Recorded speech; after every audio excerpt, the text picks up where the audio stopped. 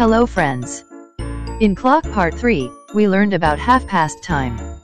And now, we will learn about quarter to time. So let's start. It's 1:45. It's 2:45. It's 3:45.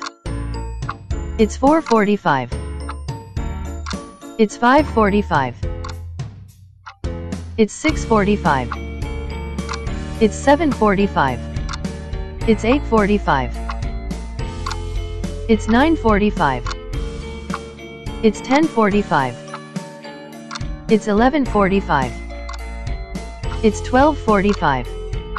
Let's revise. What time is it? It's 1:45. What time is it? It's 2:45. What time is it? It's 3:45. What time is it?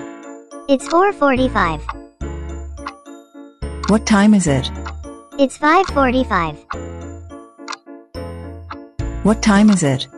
It's 6:45. What time is it? It's 7:45. What time is it? It's 8:45. What time is it? It's 9:45.